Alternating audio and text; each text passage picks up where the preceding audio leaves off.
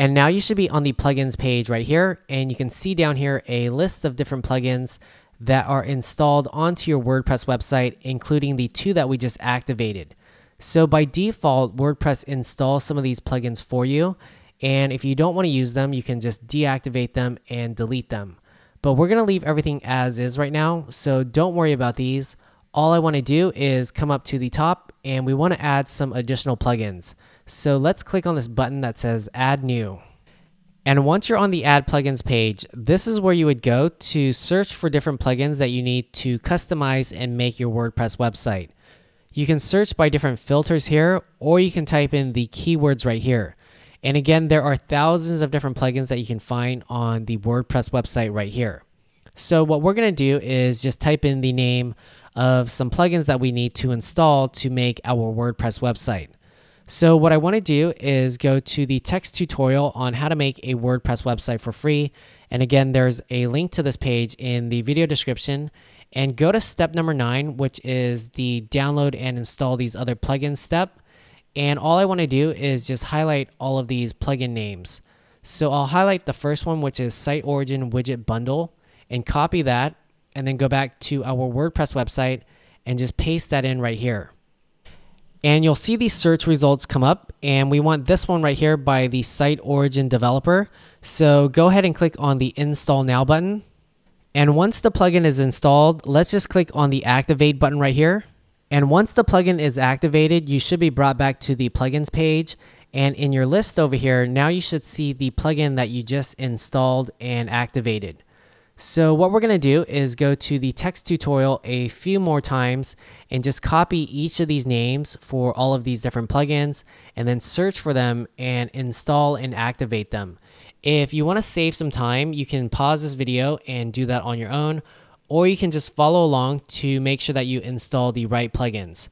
So we're going to do this together. So I'll go back to the WordPress website and the first thing that we're going to do is click on add new. And once you're back on the add plugins page, just come to the search box right here and then go to the text tutorial and highlight the second plugin. So that's Black Studio TinyMCE widget and copy that and then just paste that in right here. And once the search results come back, you should see this one by Black Studio and go ahead and click on the install now button and then just click on the activate button. And once the plugin is activated, we want to add another plugin. So click on add new. And once you're back on the add plugins page, let's go to the text tutorial. And the next plugin is the contact form 7. So highlight and copy this and then go back to the WordPress website and just paste that in right here. And once the search results come back, this is the one that we want. So click install now and then just click activate. And once again, we're going to click on the add new button and once you're back on the add plugins page, let's go to the text tutorial. And the next plugin that we want is the easy Facebook like box. So copy this and then go back to the WordPress website and let's just search for this. So paste it in right here.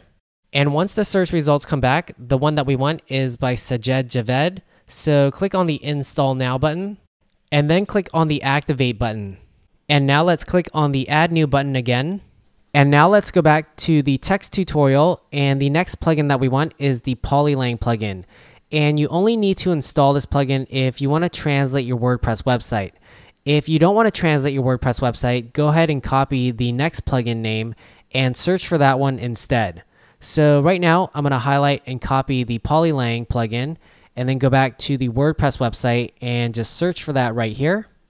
And once the search results come back, the one that we want is by Federic. So let's click on the install now button and then just click on the activate button. And once again, let's click on the add new button.